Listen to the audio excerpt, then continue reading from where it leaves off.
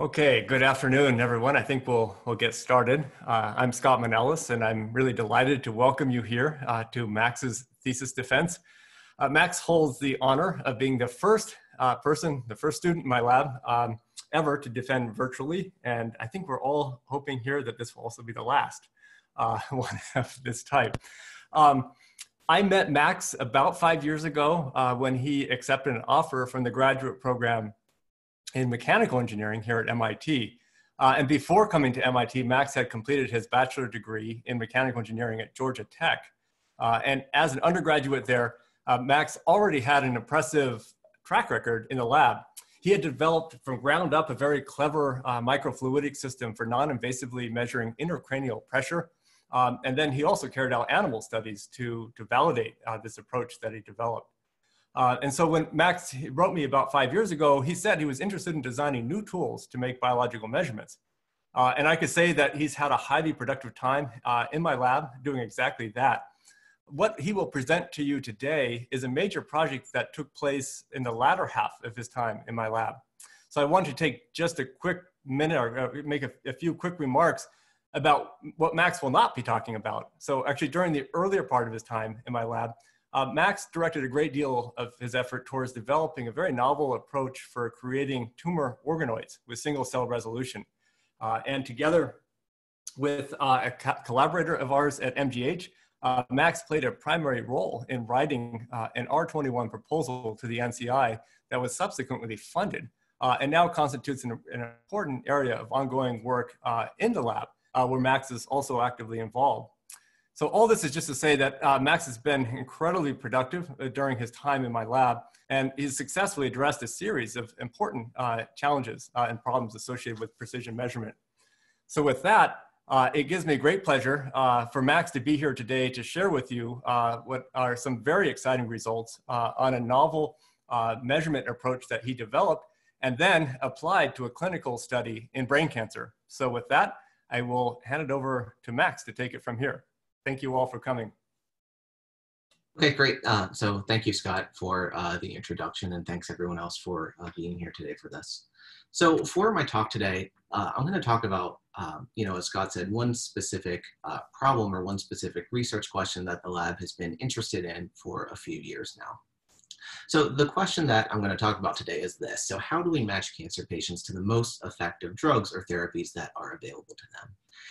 And so just to set the stage a little bit for this question, uh, this is a situation that comes up all the time uh, in clinical oncology in different forms. And so it's very common for doctors to have a patient with cancer, uh, to have several options of drugs that they could give that patient, and to need to make a decision of, okay, given what I know about this patient, uh, what drug is likely to work best, or what drug should I give this patient?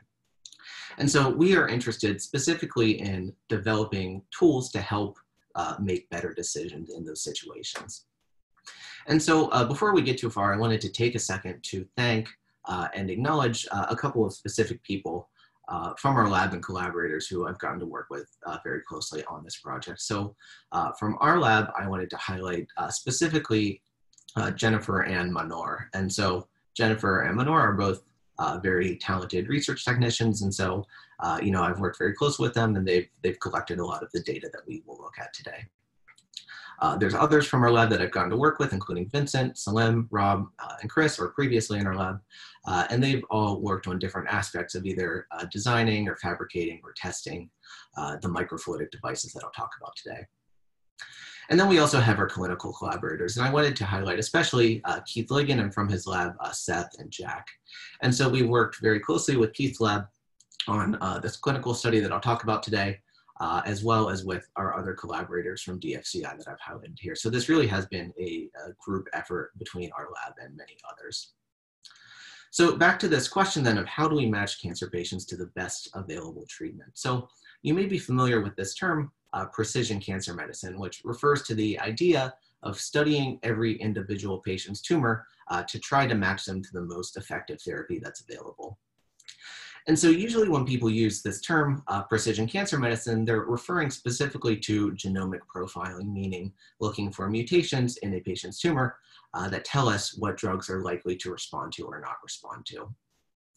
And so this approach of genomic profiling has been really successful uh, for certain groups of patients and in certain cancers. But the reality is that right now, only a relatively small fraction of cancer patients can be matched to uh, the quote genome guided drugs. So the estimate is that if you undergo genetic testing across all cancers, there's only about a 15 to 20% chance uh, that you can be matched to a drug based on a mutation found in your tumor. And so that's a relatively small number. And uh, you know, if you look at the slope of this line on the right, it's not increasing very quickly either. So, you know, since 2006, it's only gone up a couple of percentage points. And so for that reason, uh, we're interested in coming up with new uh, complementary techniques for matching patients to the most effective treatments. And so one idea that's been around for a while is what we call the functional drug susceptibility test. And the analogy that we like to talk about here is with antimicrobial susceptibility testing. And so if you haven't seen this before, uh, this is a picture of the assay that would be done to decide which antibiotic to give you if you were ever in the hospital with a bacterial infection. So what they would do to run this assay is to take a culture of bacteria, uh, they would grow them up on uh, a dish like this, this circle we're looking at here to get plenty of cells to test. Uh, they would expose the cells to different antibiotics. Here they're loaded into these uh, white porous discs. Uh, the drugs diffuse out and it kills the bacteria. And so you can see then even by eye, which drugs do a better job or worse job of killing these cells. And so you can see specifically, you know, for example, all the ones on the left have diffused out and killed a larger number of cells, while uh, the two in the top right haven't killed any bacteria. And so uh, this approach is really appealing for picking out effective treatments because we don't need to understand anything about the bacteria to do this test. So we don't need to know uh, what strain they are, anything about why they respond the way they do. We can just do this assay and pick out an effective choice of drug to give the patient. And so because this approach has been so successful in the infectious disease space and in the antimicrobial space, our idea and the idea that others have proposed is, well, why don't we do something similar to that in cancer? Or can we use functional drug susceptibility testing to pick out effective drugs for cancer patients? So the analog of this approach in cancer would look something like this. So we could take a tumor biopsy from a patient. Uh, we could break the tumor down to single cells and isolate the tumor cells if we need to. We could expose those cells to different candidate drugs, so drugs we might consider treating the patient with, and then we can measure how the cells respond to those drugs using different functional assays. Uh, so in here, a functional assay just means any uh, cellular phenotype that we can measure to determine whether the cells are responding to the drug or not. So this could be uh, things like cell viability, proliferation, um, cell growth, apoptosis, metabolism, uh, we're just looking for anything that can change in response to drug exposure uh, to tell us whether the cells are responding or not. And the ultimate goal then will be that we would use the results of those functional assays to make treatment recommendations. And so uh, it would allow us to say, for example, that for this specific patient, uh, drug B appears to be a good choice for killing their tumor cells, while drugs A and C maybe don't. And again, just like the uh, antimicrobial example, this approach is really appealing because we don't need to understand why the tumor cells respond the way they do, right? We don't need to understand why this tumor responds to drug B, but not A or C. Uh, this test could just allow us to pick out that that would be a good choice to treat this patient. And so while this idea has been around for a long time and it has obvious appeal, uh, there are still no functional assays actually used in the clinic. And so there are no situations in clinical oncology where that approach that I just showed you of performing drug testing to determine how to treat cancer patients, where that's actually done. And so here I've pulled just this clinical practice guideline just to emphasize this point that at the time that they wrote this review, uh, there were no chemosensitivity and resistance assays, uh, which is their name for functional assays, uh, where there is sufficient evidence to support use in oncology practice. And so while there's a lot of anecdotal evidence in different cancers or for different uh, subsets of patients, uh, none of that work has yet been convincing enough and practical enough uh, to actually be used in the clinic. And so every cancer is different and every cancer has its own unique reasons why these measurements have been hard to make. Uh, but these are some of the recurring challenges that we see over and over again with this work. One of the primary champ challenges with this and anything involving primary patient material is that you only have a limited number of tumor cells typically to work with. And so of course this depends on the cancer, but a normal solid tumor biopsy might contain tens of thousands of cells, and that sets an upper bound on how many different drugs you can test, for example, how many drug doses you can test and that kind of thing. The second challenge I've highlighted here is that tumor cells don't typically proliferate uh, or divide uh, outside the body. Um, and so, of course, again, this depends on the cancer, but so not only do you start with a small number of tumor cells, in many cases you can't grow more, like you could in the bacteria example. And then finally, a third challenge is that tumor cells in many cases will only remain viable for a limited period of time after they're removed from the body. And so this can make it hard to set up these experiments because we're trying to kill tumor cells with a drug, but they're on their way to dying anyway. And so you just have to be very careful about setting up your uh, experiment and setting up your controls in an appropriate way uh, to make sure that you're not getting misleading results here.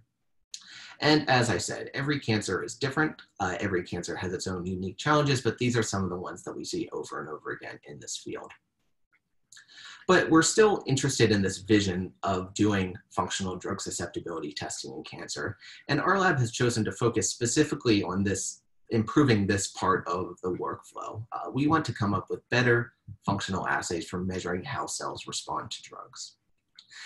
And so no matter how we collect the tumor biopsy, no matter how we isolate the tumor cells, no matter how we drug the cells, we want to come up with better measurements for measuring how those cells respond to drugs as a readout for functional testing.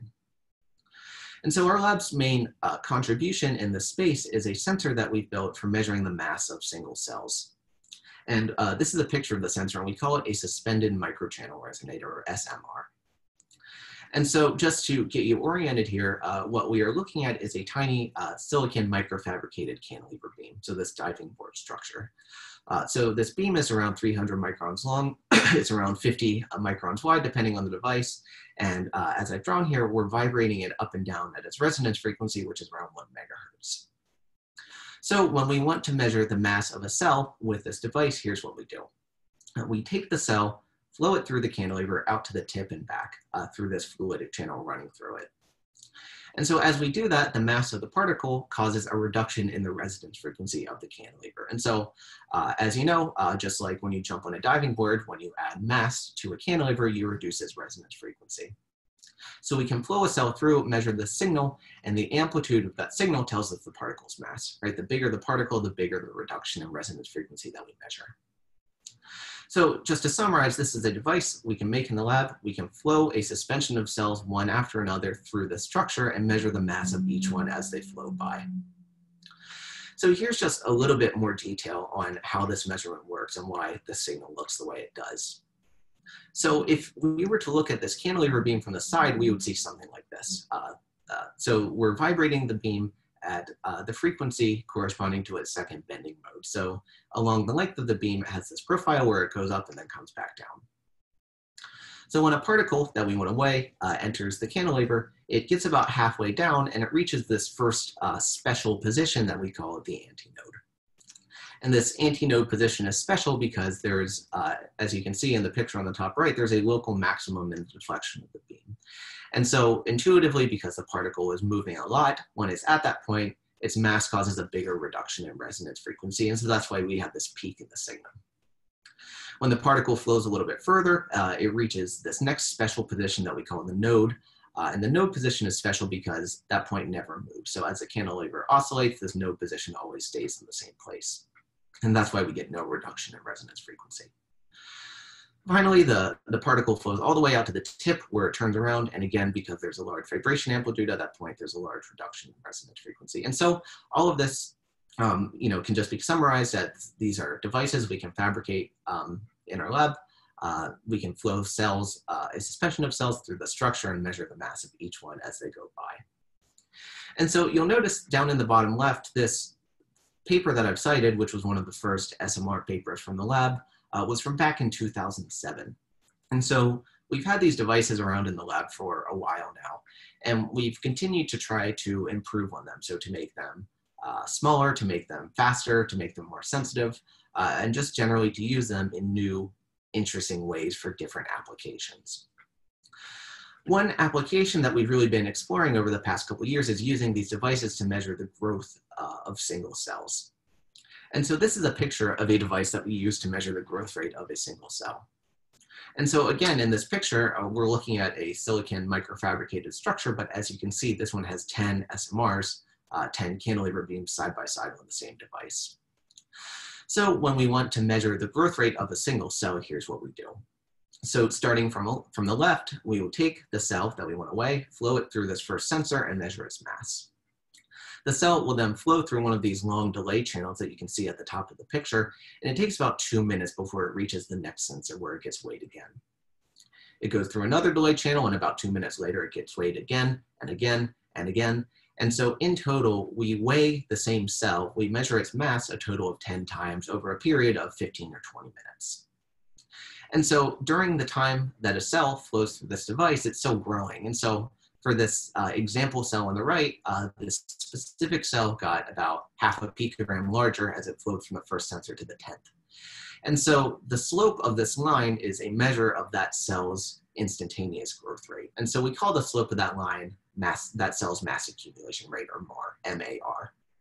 So just like the last devices I showed you, uh, we can take a suspension of cells, uh, flow them one after another through this array of sensors and measure not just the mass, but the growth rate of every cell as it flows by.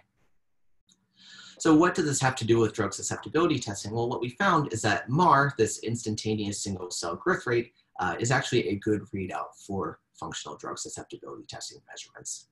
And so uh, what we found is that in many cancers, when you remove a tumor cell from the body, in many cases, it will still continue to grow for a while, even if it never goes through a division. So this, this trace on the left labeled vehicle control uh, represents uh, a typical tumor cell that's growing outside the body as it flows through this device and has a positive mass accumulation rate, a positive slope, and it's getting bigger. But what we found importantly is that for many different types of anti-cancer drugs, so cytotoxic drugs, uh, cytostatic drugs, different types of targeted therapies, when you expose tumor cells to those drugs, in many cases, uh, cells to the tumor cells growth rates or MAR will go from positive, like on the left, to zero or slightly negative, like on the right. And so we can use this shift in MAR from positive to negative or zero uh, to infer that this particular tumor cell is responding to the drug that we expose it to. If the tumor cell just kept growing after drug exposure, we might start to wonder, and you know, with more evidence, we might do, we might conclude that the tumor cell has some sort of resistance mechanism to that drug. And so we think that this MAR assay has a couple of important advantages over other ways that you can measure drug response. So obviously there's very simple ways that you could measure the response of a cell to a drug, right? You can use a microscope, you can look at changes in cell number, um, you can use viability markers based on DNA, uh, but one of the important advantages that we think about for this assay is that it works for non-proliferating cells, meaning even if the tumor cells are not actively progressing through the cell cycle, uh, which is the case in many cancers, uh, we're, we're just using an instantaneous mass accumulation right here, and so we can still do our measurements. And so there's been a lot of work from the lab over the last couple of years showing that this assay is predictive, meaning it predicts some aspect of patient response uh, in different cancers, in leukemia and especially in multiple myeloma. So I'll give you a specific example of what this data looks like. And so in this example, uh, we were measuring the response of a leukemia cell line called BAF3 BCR-ABL to a drug called imatinib, which is a BCR-ABL inhibitor. And so on this plot, uh, we're, we're showing MAR versus mass. So each dot here is one single cell. The Y coordinate is that cell's growth rate and the X coordinate is that cell's mass. And so as you can see here, before drug exposure, all the cells are still growing, right? They all have mass accumulation rates of around maybe four to eight picograms per hour, so they're all growing as they flow through this device. But as we might expect, when those cells were exposed to imatinib, a drug that we know them to be sensitive to, uh, their MAR very quickly goes from positive to close to zero for most cells. And so we could use this reduction in MAR from positive to close to zero to infer that the cell line is sensitive to this drug, even though we already knew that in this case. As another example, we considered another cell line uh, called BAF3 BCR-ABL T315I, which is very similar to the other cell line, but uh, it has a mutation that causes it to be resistant to imatinib. or it, it causes it to be resistant to imatinib. So we, we would not expect these cells to be responsive to imatinib, and uh, consistent with that, we don't see any reduction in MAR with imatinib exposure. And so just to reiterate here, we already knew the correct answer for both of these samples, right? We already knew that we expect the left cell line to respond to imatinib and the right one not to respond to imatinib. Uh, but this experiment was one of the early pieces of evidence that helped convince the lab that we could use this mass accumulation rate biomarker for doing drug susceptibility testing. And so there's one very important limitation of the MAR assay that I want to talk about. And there's one very important reason why the assay hasn't made faster progress uh, toward clinical adoption than it has already. And the limitation is that the measurement is very slow to make. And so, of course, this depends on the sample and the drug, but for a typical sample, we estimate that it takes about an hour to measure MAR for enough cells to resolve this reduction in MAR that we see on the left. And so for one or two or a small number of samples, uh, one hour per sample might be okay, right? But um, in the clinical setting where you might want to test many drugs per patient, uh, you might want to do multiple drug doses. You might want to do multiple technical or biological replicates. Uh, that one hour per sample really quickly starts to add up. And it can be a problem when you only have several hours, um, a window of several hours uh, to work with your sample before the cells start dying. And so this has been a really important uh, limitation uh, in moving the MAR assay forward toward actual clinical adoption. And so because of this, we started to think uh, about whether there are other ways we could use our devices for doing drug sensitivity testing. and we, so we started to think about, is there something else we can measure to uh, detect this drug response without having to measure the growth rate of every individual cell, which is technically hard. So our idea was, well, instead of measuring the shift in MAR, can we measure the shift in cell mass to detect the drug response? And so obviously we, this is a much less sensitive measurement. There's a much smaller reduction in cell mass than there is a reduction in growth rate. But if we weighed enough cells, we could potentially resolve this. And the reason we would do this is that it could be a much higher throughput measurement. And specifically, we estimate that we could weigh enough cells to measure this or resolve this reduction in mass in about two minutes per sample uh, compared to the one hour per sample required uh, using the MAR assay. And so uh, this is what I'm going to talk about today. We, we spent some time exploring whether this approach could be a, a viable alternative to MAR for doing drug sensitivity testing using SMRs. And so to convince ourselves that this approach was feasible, we came up with this toy example where we're imagining this, this simulated tumor sample. And so these aren't real numbers, but we're just saying, okay, imagine we have 100 tumor cells they have a certain distribution of masses, a certain distribution of growth rates, uh, and then we treat those cells with a drug that's going to reduce their growth. So we asked, what will we measure if we ran the MAR assay on this sample? What will we see if we measure the growth rate of these cells before and after drug exposure? Well, we would see something like this. We would measure the growth rates of the, the cells before um, drug exposure labeled control and find that they have a higher growth rate. We would measure the growth rates of the cells after drug exposure and find that they have a lower growth rate. And we could uh, be very highly statistically confident looking at this data that the drug is reducing cell growth. So we asked next, well, so that's what we would have done before. What would we see if we ran the mass assay on this sample instead. So if, instead of measuring the growth of every individual cell, what would we see if we just measured the mass distributions of the cells before and after drug exposure? And this is what we would see. So there is a small reduction in cell mass in response to drug exposure, but as you can see, it's much smaller than the reduction in MAR.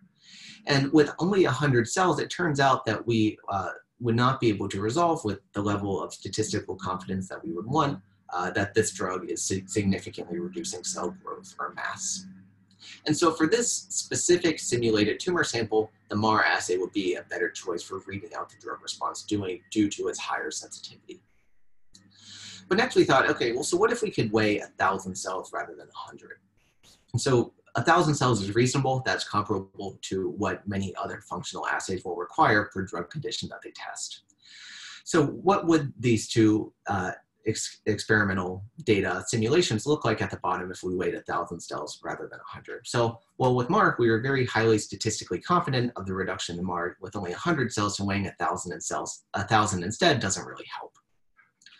But uh, by cell mass, if we could weigh 1,000 cells rather than 100, then we could be very confident in resolving this small reduction in cell mass. And so we could use this assay to uh, infer that these cells are responsive to this specific drug. And again, the reason that we would do this is that this assay could potentially have much, much higher throughput. And as I said before, it would take an hour to run this experiment by MAR, but only two minutes uh, to do the same experiment by just measuring mass. So again, about, about a factor of 30 faster. So just to summarize here, these are two different approaches uh, where we can use our devices to do drug sensitivity testing and to measure drug response. Uh, each of these two approaches has advantages and disadvantages. The MAR assay has the clear advantage of requiring fewer cells because it's just a much more sensitive measurement. Um, the MAR assay also has the advantage of giving us single cell resolution, so we could potentially detect individual drug sensitive or resistant cells in a mixed population with the MAR assay. With mass, we couldn't do that. But if we're willing to give up those two advantages, the mass assay has the advantage of having much, much higher throughput. And so, as I've said before, well, it would only take uh, two minutes to measure this drug response by mass, it would take about an hour by MAR. And so there's two parts of what I'm going to talk about today. Uh, so first, we spent some time doing the engineering. So we, we tried to make our cell mass measurements uh, as high throughput as we possibly could because we wanted to take this measurement from a laboratory instrument to uh, a sort of you know workhorse tool that we could use for collecting data at a clinical scale. And so I'll give some highlights from that work. And then I'll go into more detail on this clinical study we did that Scott mentioned, uh, actually doing drug susceptibility testing in glioblastoma, in the specific brain cancer. So first, how do we make our cell mass measurements as high throughput as we possibly can? So the first technical advancement we made was inspired by this device that I showed you before. And so you'll remember uh, with these serial SMR arrays, uh, these are devices where we can measure the growth rate of single cells by flowing one cell sequentially through several sensors on the same device. Our idea here was, well, if we don't care about measuring the growth rate of every individual cell, instead of connecting these sensors on series, can we connect them in parallel uh, on the same device? And so with these devices, we have still many SMRs on the same microfluidic device, but here uh, each sensor is measuring the mass of particles at the same time rather than one cell flowing through all of them sequentially. And so this is what this device actually looks like. Uh, on this particular device, uh, we have 16 uh, SMRs connected fluidically in parallel. And uh, you know, as I've highlighted at the bottom, this particular device was designed by uh, Rob Kimmerling, who was formerly a student in our lab. And so uh, to weigh particles, uh, as you can see here, we flow them in through this top horizontal channel, which we call the inlet channel. Uh, they go through the branches to be weighed in one of these sensors, and then they flow out the opposite side to waste through what we've labeled the outlet channel. We're able to operate all of these sensors at the same time on the same chip because we give them different resonance frequencies. And so if you look at this top picture, if you squint, you can see that the cantilevers have slightly different lengths, right? The outer cantilevers are a little bit shorter, uh, the inner ones are a little bit longer. That gives them different resonance frequencies and that allows us to, for example, uh, vibrate one cantilever at 700 kilohertz and another at 650 kilohertz uh, without one affecting the other one. And so uh, for anyone who's interested, you know, we can chat more about the details of how we set these devices up and the kind of testing we did, but this is an example of what the data looks like. And so in this example, uh, we were weighing a sample of seven micron polystyrene beads. And so we, you can just buy these, we use these for calibration all the time. And so this is a 60 second sample of the resonance frequency of, in this case, 10 cantilevers on this device. And so each blip in each one of these signals corresponds to one particle flowing through one of these sensors. And so these devices uh, were a very important step in allowing us to scale up to the point where we could uh, collect data at, very high throughput. So another uh, initiative that has been going on in the lab for a few years now has been trying to scale up by making these devices easier to use. And so this is a picture that I like to show of um, an SMR system that we have in the lab. You know, many people have worked with it at one point. And so the thing to notice here is that while the uh, sensor itself uh, is just a tiny little piece of silicon, uh, it takes this whole optical breadboard full of stuff uh, to actually make the measurement, right? So it takes the pneumatics, microfluidics to inject the samples, uh, some electronics to read out the cantilever deflections, uh, some more electronics for signal processing, a water bath. And so the, uh, as you can imagine, this was not really scalable. And we couldn't easily have uh, one person operating two or three or four of these systems at the same time to collect data faster because every instrument, uh, in addition to being complex, as I've shown you here, was just slightly different. And so a lot of the progress in this area was, was uh, catalyzed by Selim Olcum, previously a postdoc in the lab, who spent a lot of time thinking about how to take all these components and build these integrated systems. And so uh, here, all the this this box that you see on the right contains all the components that it takes to actually run one of these sensors. And so uh, it's, it's still just as technically complex, but a lot of the complexity is hidden from the person making the measurement. And this is much closer to a sort of plug and play instrument where we can put in a chip and start collecting data uh, than what we were at before. And so um, last year I got to work with a few other members of our lab setting up um, this, this space, which we sometimes call an SMR core facility where uh, we, we have currently six of these systems uh, set up to make the different measurements that we can make, so mass, growth rate stiffness. And our goal for setting up this space was just to reduce the uh, inertia or friction uh, as much as possible for collecting data. All right, so whenever we or anyone interested in collaborating wants to make a measurement, uh, you know, the goal is to be able to use the space and quickly do it without having to worry about, you know, what instrument we're going to use and that kind of thing. And so I show this just because most of the data that I'll show you today uh, was only really possible because of the space and was collected using one of these systems on the right here. So I showed you these parallel SMR array devices and using these devices, uh, you know, we calculate that we can get up to about 27 times higher throughput than we could before using our old devices. And so, as I said, this was a very important advancement in scaling up the throughput of our measurements.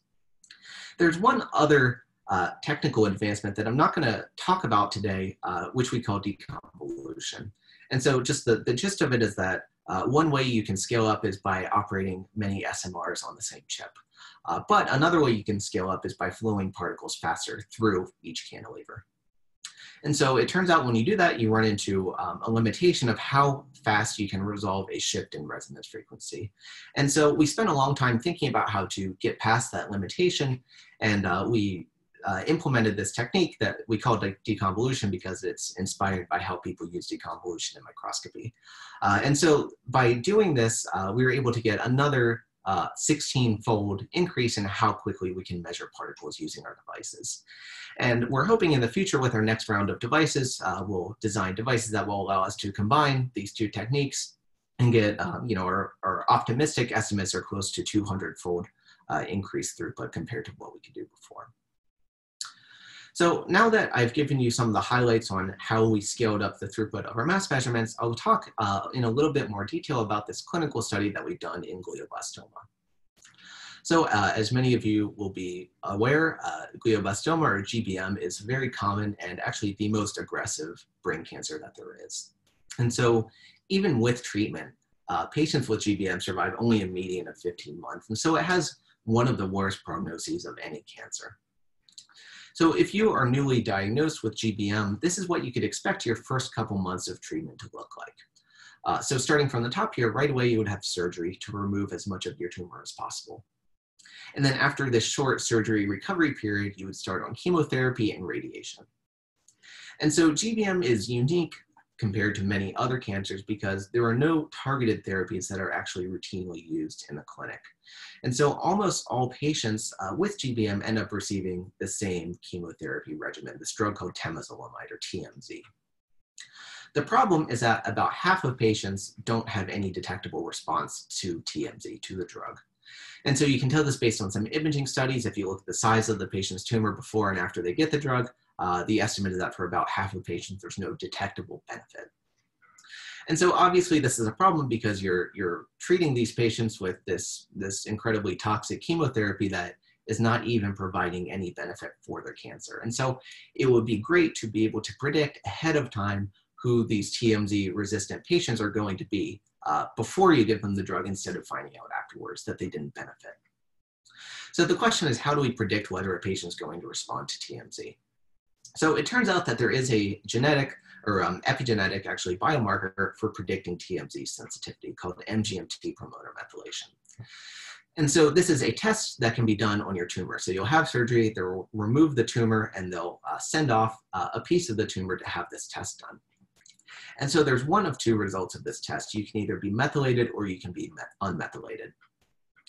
If you are methylated, that is the good biomarker result to have. That means that you are likely to respond to TMZ. Uh, so this, this cartoon is just a picture of how this works. So if you have methylated MGMT, everything works as it should. Uh, so TMZ, the drug, enters the tumor cell. It causes this, this specific type of DNA damage, which is what it's supposed to do. That's how the drug works. Uh, that breaks the DNA strand and kills the tumor cells. So again, methylated MGMT, everything works as it should. But if you have unmethylated MGMT, you are unlikely to respond to TMZ. The reason for this is again shown in this picture. So uh, if you have unmethylated MGMT, TMZ enters the tumor cells, it attempts to cause this DNA damage, but uh, that damage is repaired by this molecule called MGMT. And so that allows the tumor cells to escape and survive, and these uh, patients typically respond poorly to therapy. So our idea in this project was, can we predict whether patients will respond to TMZ, but instead of using this MGMT promoter methylation biomarker, could we do it using functional drug susceptibility testing? So uh, we set up this study working with uh, Keith Ligon's lab at DFCI, uh, as well as the Center for Patient-Derived Models at DFCI. And so the CPDM is a group that, that takes tumor tissue uh, collected at DFCI uh, and biopsies and establishes different types of patient-derived models, so xenografts and cell lines uh, specifically. And so they, they have these bagged and we can access these and use them as a surrogate for the patient's original tumor. And importantly, uh, the Ligon Lab and CP CPDM do a lot of the work of uh, matching these samples up with the clinical annotation. So we can uh, access a, a tumor sample, a patient-derived model, uh, perform our functional testing on it, and then go back and look at how that patient actually responded to therapy. For GBM specifically, uh, the CPDM's resources uh, are this, this collection of about 140 of these what are called patient-derived neurosphere models. And so this is a way that you can take GBM tumor tissue and propagate the tumor cells in vitro. And so with the right mixture of growth factors and nutrients, uh, the tumor cells form these uh, what are called neurospheres, so chunks of, of brain tumor tissue, uh, a couple hundred microns in diameter that will grow and proliferate um, in vitro. So here's how we set up this study for evaluating functional drug susceptibility testing in GBM. So as I mentioned, the Ligon Lab and the CPDM receive tumor resections from patients who have surgery at DFCI. Uh, they use them to establish these patient-derived neurosphere models. Uh, we bring those models back to MIT and expose them to drugs, either temozolomide or a control. And then at different time points, we measure how the tumor cells are responding to those drugs. And so we're measuring not only how the cells respond on the SMR, we're not just measuring the mass distributions, but we're also using these two other commercially available assays, uh, the IncuCyte assay and the cell titer glow assay. And so I won't go into a lot of detail, but just briefly, uh, the IncuCyte assay measures drug response by imaging uh, the neurospheres uh, using a microscope uh, before and after drug exposure. So we're looking at whether the cells get bigger or smaller when they're exposed to drugs. The cell titer glow assay is a very common uh, commercially available assay that just measures ATP levels as a proxy for the number of viable cells in the sample. So just zooming out, we're taking these models, exposing them to drugs, measuring how the cells respond to the drugs, and our ultimate goal is to see whether that functional drug susceptibility testing predicts how the patients actually responded to therapy. And so as we started collecting this data, uh, we noticed right away that patients fell into one of two categories, what we are calling here TMZ responders and TMZ non-responders. Here is an example of the SMR data from a patient that we classified as a TMZ responder. So BT440 is this patient's designation, and this is a plot of the mass distributions of uh, their patient-derived model uh, out to two weeks of drug exposure. And so the thing to notice here is that at day three, we don't see any response to the drug. But at day five and seven and out to 14, uh, you'll notice that the, uh, the drug exposed cells in blue have started to actually get bigger. And so because there is a response here, uh, we call this a TMZ responder. And so incidentally, uh, it's, we're not surprised to see that the drug exposed cells are getting larger uh, because we think that the drug is arresting cells late in the cell cycle. So that's consistent with what we might guess, given what we know about the drug. And so again, because we saw a response here, we call this a TMZ responder. On the other hand, for about half of the samples we measured, we don't see any detectable shift in the cell mass distributions at any time point of drug exposure. And so we would call BT330 and uh, the, the other models like it a TMZ non-responder because we don't see any response. And so our hypothesis here that we are going to have to prove uh, was that, well, maybe this responder versus non-responder phenotype uh, or classification tells us something about the patient. And you might uh, expect that patients who are TMZ responders uh, might be more likely to respond to therapy and perhaps survive for longer on therapy. But in order to prove this, we needed to measure a lot of samples. And so we spent about a year uh, measuring 80 of these uh, GBM patient-derived neurosphere models. And so each of these traces is just the data that I just showed you, but just from one of the patients that we measured. And so I've highlighted at the bottom uh, Jennifer uh, and Seth, so Jennifer from the Manalis lab, uh, Seth from Keith Ligon's lab, and they were involved with a lot of the day-to-day -day work of setting up these samples, drugging the cells, culturing the cells, running the SMR measurements, and all that kind of stuff. So um, this was really could have been done in about four or five months of focus effort, but we, um, you know, we spent about a year setting up and, uh, you know, finalizing this data set. And as I mentioned, we did not only the SMR assay, but also these IncuCyte and cell titer glow assays to measure drug response. And so uh, at the conclusion of this, we had a really large, uh, interesting data set, and our, our goal was to sort through this and see whether all of this data could tell us anything about the patients that the tumor samples came from. So as a first step, um, you know, there's too much data on that previous slide to directly uh, sort of reason about. So we needed ways to summarize or aggregate all of that data into something more manageable.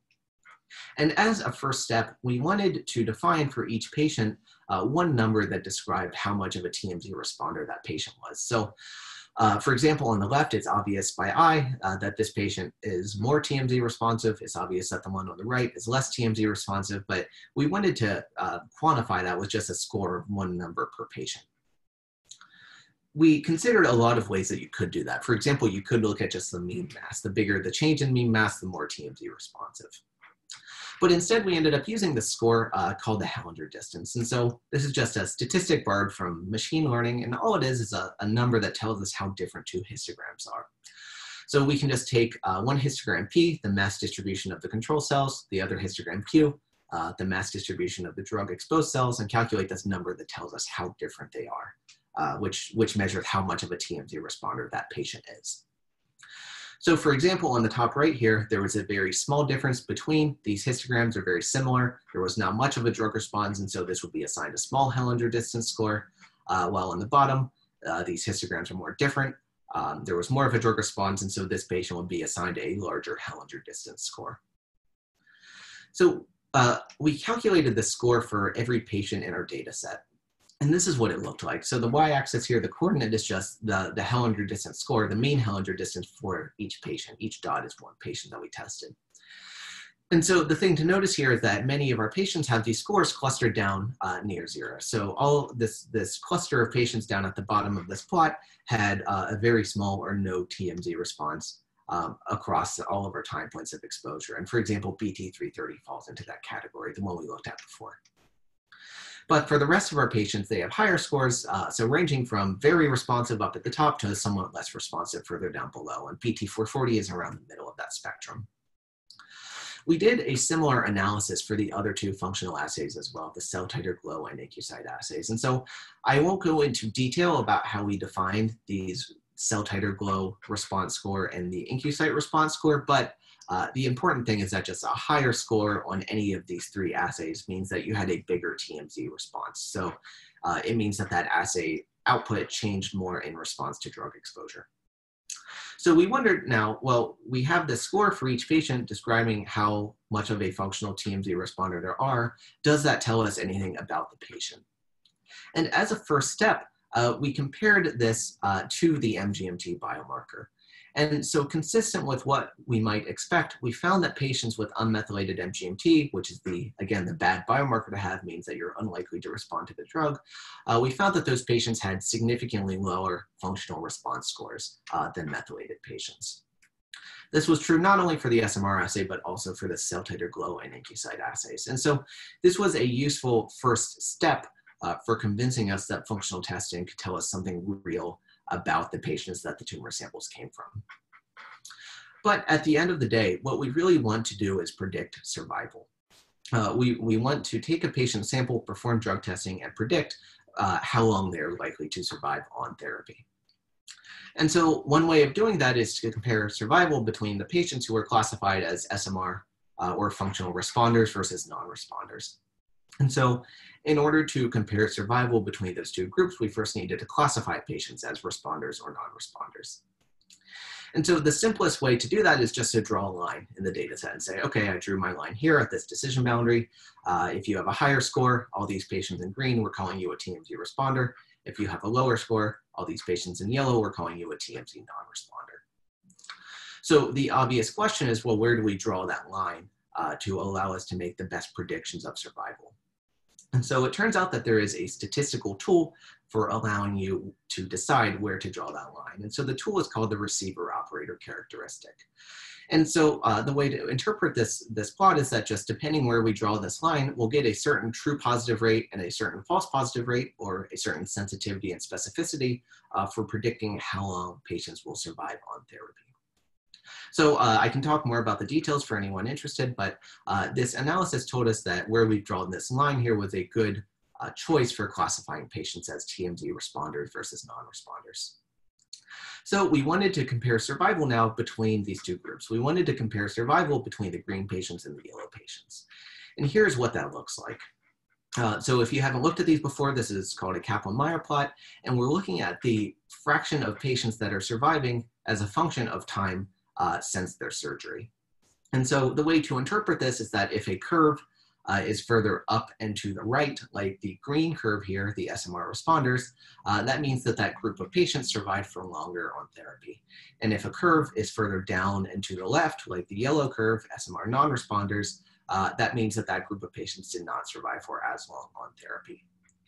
So one way, uh, one conclusion that you could take away from looking at this plot is that SMR responders had significantly longer survival on therapy than SMR non-responders did. And there's other ways that you could summarize or aggregate this data. One way is looking at the median survival. And, uh, you know, we could compare the median survival between these two groups and SMR responders had a median survival of 18.8 months uh, compared to only 11 months for SMR non-responders. And uh, so this would be a first step towards actually using this to make treatment decisions. And so uh, with some further evidence, you might start to think about uh, taking a patient sample, uh, doing functional testing, classifying them as, for example, a non-responder, and then you might say, okay, uh, because you are unlikely to survive for very long on therapy, uh, we might start to think about putting you on a trial for another therapy that has at least some chance of providing some benefit for your disease. And so I have this, uh, this note in the corner that we focus for this analysis uh, on a subset of patients uh, meeting certain criteria to make sure that we're making fair comparisons here. Um, importantly, we've chosen to focus only on newly diagnosed as opposed to uh, combining newly diagnosed and recurrent GBM, and I can talk more about that. But uh, so we did the same analysis for the other two assays as well and did not find a statistically significant difference in survival between IncuCyte and cell titer glow responders versus non-responders. And so, you know, I can speculate on why that is, but the, uh, the way to interpret these plots is that generally the bigger the gap between the two curves, the better or more predictive that biomarker is for predicting survival. And so you can see that uh, the IncuCyte and cell titer glow assays, while they have some predictive power, there's, there's some uh, distance between those two curves intuitively, um, it ends up not being um, statistically significant and far less than the SMR assay. But the comparison that we really care about is uh, with MGMT, right? We know that this MGMT biomarker uh, has some ability to predict how long patients will survive on therapy. And we wanted to see how the SMR assay compared to that. And here's what that comparison looks like. And so uh, there's more detailed uh, comparisons that we can make, but uh, it is fair, I think, to say that uh, predictive power is similar for the SMR assay uh, and this MGMT biomarker. And uh, so, you know, it's, it's interesting that, so not only do we have a new way of predicting TMZ sensitivity, but uh, it's interesting that it's based on a totally different mechanism, right? MGMT is a molecular test. It's based on a methylation of one specific, uh, you know, site in, in um, the genome, while um, this SMR measurement is a biophysical measurement. We're measuring the mass of cells. And so there's more uh, analysis we can do here. We really explored, uh, you know, when did these two assays agree and disagree? Are there patterns in what patients they agree and disagree for? Uh, are there ways we can combine those two measurements to make even better predictions of survival? But uh, this is, uh, I just wanted to give sort of the flavor of the analysis that we've done for this study. And so just to summarize here, uh, the study was only possible because we were using this new high throughput cell mass measurement that has again, about a 30 fold higher throughput than what we were doing previously. So this took about a year with this approach, and so it just would not have been possible at this scale uh, using the MAR assay that we were using before. Uh, the takeaway, again, from, from this GBM study is that uh, our predictive power for stratifying GBM patients by drug sensitivity uh, was comparable to MGMT, which is the current gold standard for making that prediction. And finally, uh, we've chosen in the study to focus on one specific clinical decision that needs to be made. So yes or no, should this patient be given TMZ? And so this is much less ambitious than a lot of other functional testing uh, approaches that are out there where people are testing uh, hundreds of drugs and kinase inhibitors and combinations, uh, trying to find the one magic combination for every individual patient. And so what we're hoping is that by trying to make this one specific decision very well, um, it, while this is less ambitious, we're hoping that will make faster progress toward actually being used in the clinic. And so um, I wanted to thank a couple more people in addition to who I mentioned at the beginning. Um, I wanted to thank uh, especially Scott Manalis. Um, so, you know, Scott has been a great advisor and, you know, I've learned a lot uh, over the past couple years working in the lab. Uh, I wanted to thank my the members of my thesis committee, so Professors Linda Griffith and Paul Blainey. Uh, we've always had a lot of really uh, great, uh, productive, interesting discussions about this project uh, as it's evolved. Uh, I wanted to thank again all of our collaborators, especially from DFCI. So Seth, uh, Jack from Keith Ligon's lab, Kinho from CPDM, as well as David Weinstock, Mark Murakami, and Pasiane, who we've worked on other cancers with in addition to GBM. Uh, I wanted to thank uh, the, the team at Travera, uh, which is a company that spun off with some similar uh, interests, but uh, it's been great to get to uh, interact with them and you know discuss with them both as this project has evolved and previously when they were in the lab. I wanted to thank some others at MIT, so especially the 2309 team, so Julie, Steve, and Maxine, you know, gave me the opportunity to TA for their class back in the fall, and it was a great learning opportunity and I had a great time doing it. And then I wanted to thank the Manalis Lab. So um, in addition to the people I already mentioned who worked with us, who I worked with specifically on this project, uh, you know, I'm not going to get to mention everyone, but um, you know, I just wanted to thank everyone for making it just such a great environment to work in. And then finally, I wanted to thank uh, my family and friends. So my family, uh, my mom, uh, my dad, uh, my sister Mackenzie, uh, my wife Amy, and everyone else, uh, just for all of their support through the whole process of um, you know me being in grad school. Uh, so uh, thanks everyone for your time today, and I can take some questions now. Thanks.